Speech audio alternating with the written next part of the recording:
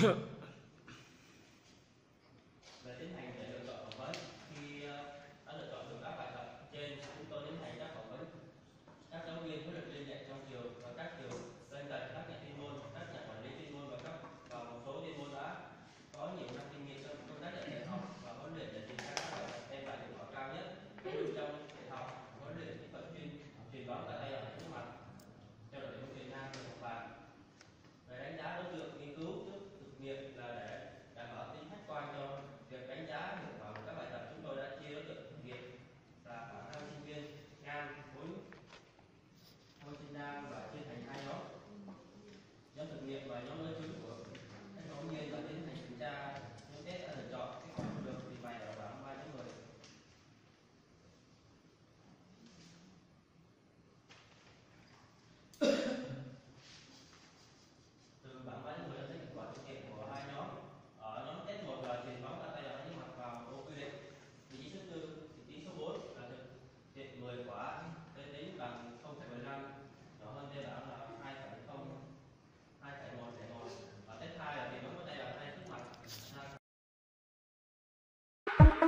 Hãy comment cảm nghĩ của bạn phía dưới video này nhé. Nhớ like, share và subscribe để xem.